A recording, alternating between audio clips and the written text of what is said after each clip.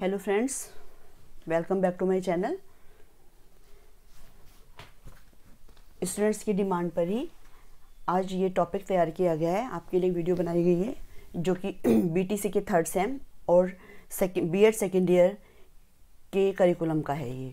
तो बीटीसी के जो एग्ज़ाम होने वाले हैं अभी, उन्हीं स्टूडेंट्स ने डिमांड की थी कि मेंटल रिटायर्ड चैनल पर एक वीडियो डाल दीजिए। तो उसी के रिगार्डिंग ही आज हम डिस्कस करेंगे कि मेंटल रिटायर्ड चिल्ड्रन क्या होते हैं। तो ये जो हम वीडियो बनाने जा रहे हैं, इस वीडियो में आप जानोगे कि मेंटल रिटायर्ड चिल्ड्रन क्या हैं, इनकी क्या करेक्टरिस्टिक्स हैं और इन बच्चों का आइडेंटिफिकेशन कैसे किया जाता है और क्या रीज़न होते हैं ऐसे बच्चों के लिए, उनकी क्या समस्याएँ होती हैं और उनके शैक्षिक कार्यक्रम क्या क्या हो सकते हैं। तो इसमें हम आज ये जानेंगे। तो चलिए डिस्कस करते हैं कि मानसिक मंदित बच्चे क्या होते हैं? जैसे कि आपको नाम से समझ आ रहा है, मानसिक मंदित, मानसिक रूप से मंद होना, जो कि औसत से कम मानसिक योग्यता वाले होते हैं, यानी कि बिलो एवरेज मेंटल एबिलिटी वाले बच्चे होते हैं। और ये जो बच्चे होते हैं इन ये मानसिक योग्यताओं और क्षमताओं की कार्यशक्ति में बेबस होते हैं। टर्मन और क्रो एंड क्रो ने ऐसे बच्चों को, जिनकी सेवेंटी से कम जो है बुद्धि लब्धि होती है, ऐसे बच्चों को उन्होंने मंद बुद्धि वाला बच्चा या मेंटल रिटायर्ड माना है। स्किनर ने इनको मंदिता अल्प बुद्धि मंद बुद्धि और मूड कहा है।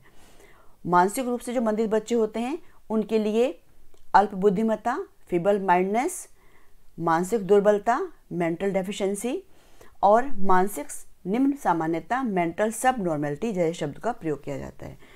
तो यहाँ पर कहने का मतलब ये है कि जो इस तरह के बच्चे होते हैं वो औसत से कम मानसिक योग्यता होती है उनकी। जो औसत में बच्चे आते हैं, वो नाइन्टी से लेकर वन टेन तक जिनकी बुद्धि लब्धि होती है, वो बच्चे आते हैं। तो इसका मतलब जो इससे कम वाले हैं, वो सब बच्चे मानसिक मंदित बच्चे कहलाए जाएँगे। अब जो हमारे सत्तर से पिचासी बुद्धि लब्धि वाले बच्चे होते हैं, उनको मोरन, एडुकेबल और मेंटल रिटायर्ड या मिड मेंटल सबनॉर्मल कहा जाता है। तो आपका ये वेरी शॉर्ट क्वेश्चन पूछा जा सकता है कि 70 से 85 बुद्धि लब्धि वाले बच्चों को क्या कहा जाता है? तो आपको ये वर्ड ध्यान रखने हैं, ये ऑब्जेक्टिव क्वेश्चन भी आ सकता है वन वर्ड भी पूछा जा सकता है आपसे कि अब ये ध्यान रखना है कि कौन कौन से बच्चे 70 से 85 में होते हैं।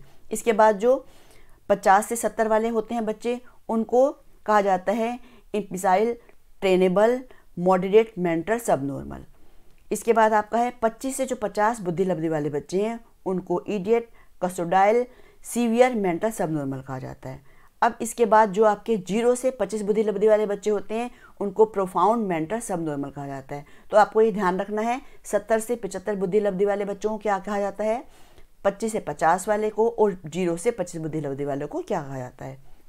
तो अब देख लेते हैं कि इसकी करेक्टरिस्टिक्स क्या हैं, मानसिक मंदिर जो बालक होते हैं उनकी।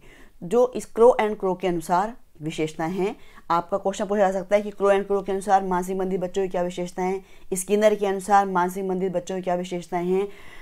तो आपको ये पता होनी चाहिए कि इसकी विशेषताएँ किसने किस तरह से बताई हैं। क्रो एंड क्रो ने बताया है कि दूसरों को मित्र बनाने की इच्छा, जो ऐसे बच्चे होते हैं, वो दूसरों को फ्रेंड बनाने की इनकी बहुत हाईली इनकी डिज़ायर होती है। लेकिन जो दूसरे बच्चे होते हैं, दूसरे बच्चे उन, इनको एज ए फ्रेंड एक्सेप्ट नहीं करते, उनकी इच्छा कम होती है। तो उन, इस तरह से ना तो उनका समायोज समायोजन हो पाता है, ना ही विद्यालय में समायोजन होता है और उनको स्कूल में सक्सेस नहीं मिलती, जिस कारण वो निराशा उनके अंदर आती है। और नेक्स्ट है संवेगात्मक और सामाजिक असमायोजन। उनका जो संवेगात्मक डेवलपमेंट भी नहीं होता है और सोशल डेवलपमेंट भी नहीं होता है। ये तो थी क्रो एंड क्रो के अनुसार। अब स्किनर ने इनकी जो विशेषताएँ बताई हैं स्किनर ने कहा कि जो सीखी हुई बातें हैं, जो उनको सिखाई जाती हैं, वो न्यू सिचुएशन में ये प्रयोग नहीं कर पाते हैं। मतलब इनके पास एप्लीकेशन लेवल इनका जो है वो कम होता है। उसके बाद है व्यक्ति और घटनाओं के प्रति ठोस और विशिष्ट प्रतिक्रियाएँ मतलब ये फ्लेक्सिबल नहीं होते हैं, जो एक बार सिचुएशन इनके सामने बन जाती है, वो उसी के लिए प्रतिबद्ध रहते हैं कि हाँ यही सही है बस। मान्यताओं के संबंध में अटल विश्वास, जो मान्यताएँ होती हैं, उनके संबंध में पूरा पूरा इनका बिलीव होता है, उससे ये इधर उधर नहीं होते हैं। ये दूसरों की चिंता नहीं करते, केवल इनको अपनी ही चिंता होती है। और किसी बात का निर्णय करने में परिस्थितियों की अवहेलना करते हैं। कोई भी यदि बात है तो उन्हें मतलब सिचुएशन को दोषी ठहराएँगे मतलब। जैसे एग्जांपल ले सकते हैं कि यदि उनको ये लग रहा है कि भाई पैसे चुराना तो गलत बात है लेकिन यदि कहीं उनको खाने की चीज़ मिल रही है कोई ऐसी अच्छी चीज़ मिल रही है बिस्किट मिल रहे हैं कुछ ऐसा मिल रहा है तो उसको वो खा उठा के खा लेते हैं। मतलब उसको चुराना गलत बात नहीं है। तो मतलब कहने का ये कि आ,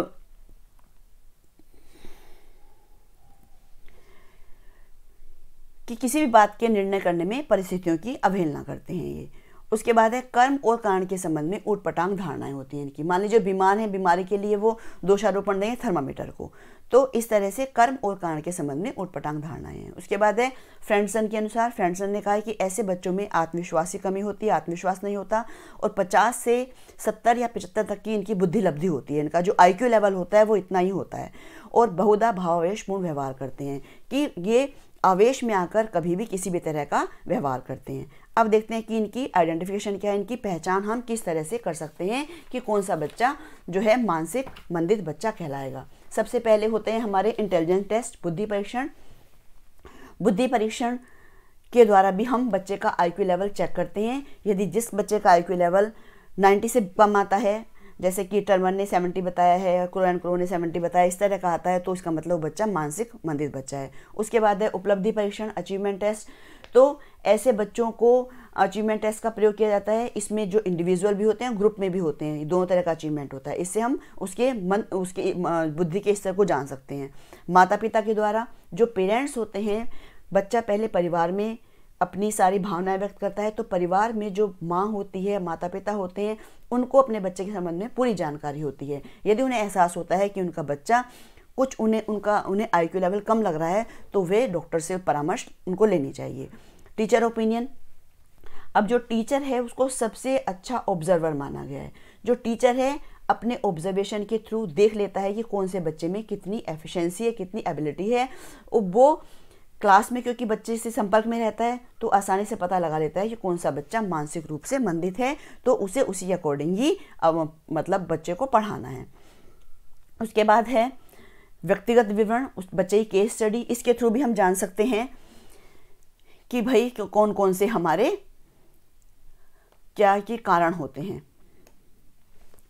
इसके थ्रू भी हम जान सकते हैं। तो इस तरह से हमने ये जाना कि उनकी पहचान कैसे कर सकते हैं। अब ये जानते हैं कि इसके रीज़न क्या है? क्या इसके कॉज होते हैं? तो पहला कोज है इसका प्रसव पूर्व काल काले कारण, यानी कि प्री मेच्योर डिलीवरी हो जाना। जब जिस बच्चे की प्री मेच्योर डिलीवरी होती है, उसके संबंध में भी ऐसा होता है कि उसका जो मेंटल डेवलपमेंट प्रॉपर नहीं हो पाता है तो जिसके कारण की ये समस्या बन जाती है। और उसके बाद है प्रसव पश्चात काले कारण। जब उसकी बच्चे की डिलीवरी के समय यदि उसके मस्तिष्क में सूजन है, या उस पर उसे किसी की चोट लगी है और कभी कभी क्या होता है कि मस्तिष्क में कैंसर कैंसर या ट्यूमर की समस्या भी होती है तो ऐसे में उसकी जो मस्तिष्क कोशिकाएँ होती हैं उसमें ऑक्सीजन की कमी हो जाती है। तो ऑक्सीजन की कमी होने के कारण भी मानसिक मंदता हो जाती है। इसके बाद डोल ने मानसिक मंदता के कारण बताए हैं। इन्होंने बताए हैं अंतर्जात कारक एंडोजीनियस कॉजेज और एक्सोजीनियस कॉजेज। एंडोजीनियस कॉजेज मतलब कि जो आ, वंशानुगत पीढ़ी दर पीढ़ी चलता आ रहा है, वो। बहिर्जात कारण यानी एक्सोजीनियस कॉजेज आपके होंगे कि जब बच्चे का जो जनरल डेवलपमेंट होता है, उसमें कोई विकार उत्पन्न हो जाते हैं तो तब भी ये वाली बच्चा जो है मानसिक रूप से मंदित होता है। डेवनपोर्ट ने इसको सेवन कैटेगरी में रखा है कि जनन जीवाणु में पाए जाने वाले दोष, अंडाणु के निषेचन के समय उत्पन्न दोष, भ्रूण में पाए जाने वाले दोष प्रसव कालिक जो हैं आपके दोष बताए हैं इन्होंने प्रसवकालिक आघातों से है यहाँ पर ये गलत हो गया, ये आघातों। यहाँ पर आघातों से संबंधित दोष हैं ये। शैशव एवं बाल्यावस्था के समय उत्पन्न दोष।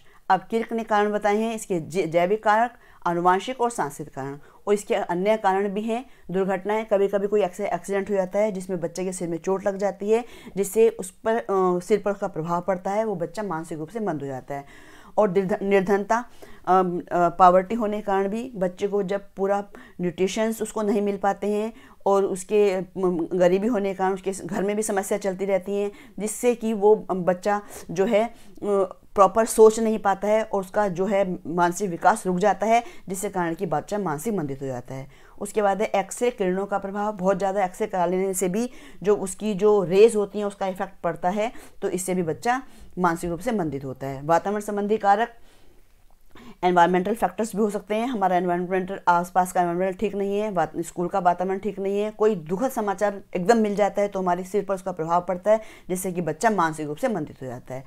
अब ये तो हमने जाना कि किन किन रीज़न से बच्चा जो है मेंटली रिटायर्ड होता है। तो अब जो मेंटली रिटायर्ड बच्चा है, लेकिन हमें उसको एजुकेट करना है, उसकी एजुकेशन का क्या उद्देश्य होगा?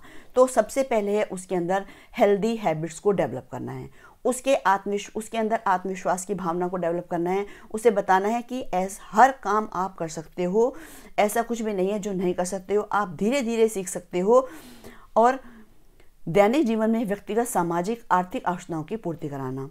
उसके बाद उसके शारीरिक स्वास्थ्य की उन्नति करना, सुरक्षा की भावना का विकास करना। ये सब इसके उद्देश्य होंगे कि बच्चे बच्चे के अंदर कॉन्फिडेंस डेवलप करना है और उसको ऐसे तैयार करना है कि उसकी जो सोशल नीड्स हैं इकोनॉमिक्स नीड्स हैं, वो नीड्स पूरी वो बच्चा अपने आप कर सके और वो अपने हेल्थ को डेवलप कर सके। और उसमें सुरक्षा की भावना का विकास भी करना है। उसके अंदर ऐसी इमोशंस डेवलप करनी है कि उसे ये नहीं लगना चाहिए कि जो मुझे बच्चे दूसरे फ्रेंड नहीं बना रहे हैं तो मेरा कोई भी नहीं है। तो उसके अंदर ऐसी भावनाएँ विकसित ना हो पाए, हमें उसको ऐसी एजुकेशन देनी है। अब देखते हैं कि बच्चे में, ऐसे बच्चे में कौन कौन सी समस्याएँ होती हैं। सबसे पहली समस्या होती है उसकी फैमिली में एडजस्टमेंट करने की। वो फैमिली में एडजस्ट नहीं हो पाता है। जो पेरेंट्स होते हैं पेरेंट्स जो से आशा करते हैं, वो उन आशाओं पर खड़ा नहीं उतरता पेरेंट्स फिर बार बार पर डांटते हैं, जिससे कि बच्चे के जीवन पर प्रभाव पड़ता है और वो कुसमायोजन का शिकार हो जाता है। उसके बाद है आपका समाज में समायोजन की समस्या। अब दूसरा है कि स्कूल परिवार के बाद वो सोसाइटी में जाता है तो सोसाइटी में दूसरे बच्चे के साथ खेलना पसंद नहीं करते हैं, उसे बात बात पर चढ़ाते हैं, उसे अपना फ्रेंड नहीं बनाते हैं, जिससे कि उसके अंदर सोशल एबिलिटीज़ डेवलप नहीं हो पाती हैं। नेक्स्ट है विद्यालय में समायोजन की समस्या, यानी कि स्कूल में एडजस्टमेंट की प्रॉब्लम होती है। जब बच्चा क्लास में जाता है तो जो क्लास होती है, उस क्लास से उसको उतना बेनिफिट नहीं मिलता, जो कि एवरेज बच्चों को मिलता है। टीचर्स का व्यवहार यदि सहानुभूतिपूर्ण नहीं है तो उसका समायोजन क्लास में नहीं होगा, स्कूल में नहीं होगा। और क्योंकि बच्चे भी जो हैं, उसके साथ फ्रेंडली बिहेव नहीं करते हैं और यदि उसे किसी भी कल्चर प्रोग्राम में पार्टिसिपेट नहीं कराया जाता, उसको प्रेरित नहीं किया जाता तो ऐसे बच्चे हीन भावना का शिकार होते हैं और उनमें समायोजन नहीं हो पाता है। उसके बाद है संवेगात्मक अस्थिरता इमोशनल अनस्टेबिलिटी हो जाती है बच्चे के अंदर। जो मानसिक मंदित बच्चा होता है, वो घर पर, समाज में, स्कूल में, उस पर विशेष ध्यान नहीं दिया जाता, जिसके कारण बच्चे के जो संवेग हैं, उनकी ट्रेनिंग नहीं हो पाती है और इस कारण से बच्चे में अनेक दोष उत्पन्न हो जाते हैं। वो कठिन परिस्थिति में भी और उस परिस्थिति से भागता है और बात बात पर रोने लग जाता है, जिस कारण कि वो उसका समायोजन नहीं हो पाता है। शारीरिक व मानसिक विकास की उचित न होना। अब बच्चे का ऐसी अवस्था में मानसिक विकास नहीं होता है तो उसका शारीरिक विकास भी नहीं होता है। तो इस तरह से ये सारी समस्याएँ ऐसे बच्चे को फेस करनी पड़ती हैं। तो इनके लिए हमें क्या एजुकेशनल प्रोग्राम रखेंगे? सबसे पहले होगा सामाजिक प्रशिक्षण। बच्चे को समाज ऐसे बच्चे को सामाजिक प्रशिक्षण देना है कि उसका सामाजिक व्यवहार करने की उसको ट्रेनिंग देनी है। कैसे देंगे? उसको सामूहिक कार्य करने के लिए देंगे। उसे जो भी गेम्स हो रहे हैं वो ग्रुप में गेम्स कराए जाएँगे, जिससे कि वो उसके अंदर सोशल एबिलिटी डेवलप होंगी, सामाजिक शिष्टाचार की हमें ट्रेनिंग देनी होगी और जो भी हमारे सोशल इवेंट हो रहे हैं कल्चर प्रोग्राम हो रहे हैं, उसमें उसको पार्टिसिपेट करने के लिए प्रोत्साहित करना है। नेक्स्ट है, विशिष्ट क्लासेस की व्यवस्था करना, उसके लिए अरेंजमेंट ऑफ़ स्पेशल क्लासेस जो मानसिक मंदिर बच्चे होते हैं, वो सामान्य कक्षाओं में पूरा लाभ नहीं उठा पाते हैं। इसलिए ऐसे बच्चों के लिए हमें अलग से जो है स्पेशल क्लासेस को अरेंज करना चाहिए। अब ये लेकिन बहुत कठिन काम है, लेकिन हफ़्ते में एक या दो क्लास स्कूल के द्वारा अरेंज ऐसे बच्चों के लिए ज़रूर कराई जा सकती हैं। उसके बाद है व्यावसायिक प्रशिक्षण, यानी कि वोकेशनल ट्रेनिंग जो कि मानसिक बच्चे हो मानसिक मंदिर बच्चे होते हैं, ऐसे बच्चों को आर्थिक रूप से इंडिपेंडेंट बनाने के लिए हमें वोकेशनल ट्रेनिंग भी बच्चों को देना बहुत ज़रूरी है, जिससे कि वो अपने लिवलीहुड के लिए बाद में जाके काम कर सकें। और उनको स्वयं की देखभाल का प्रशिक्षण ट्रेनिंग ऑफ़ सेल्फ केयर उन्हें सेल्फ केयर की ट्रेनिंग भी देना बहुत ज़रूरी है। ऐसे बच्चों को सफ़ाई करना, अपनी वस्तुओं की देखभाल करना, अपने काम खुद करना, मनोरंजन करना, ऐसी, इन सब की भी ट्रेनिंग देनी है जिससे कि वो बच्चा अपने सारे काम खुद कर पाएगा। तो इस तरह से हमने ये जाना कि मानसिक रूप से मंदिर बच्चे क्या होते हैं और इनको हम कैसे एजुकेशनल प्रोग्राम के द्वारा इनके जीवन को संवार सकते हैं। तो आ, इसी के साथ ही आपको यदि ये वीडियो पसंद आती है लाइक कीजिए शेयर कीजिए और बेल आइकन के बटन को प्रेस कीजिए जिससे कि आने वाले वीडियो का नोटिफिकेशन आप तक पहुँचता रहे। Thank you so much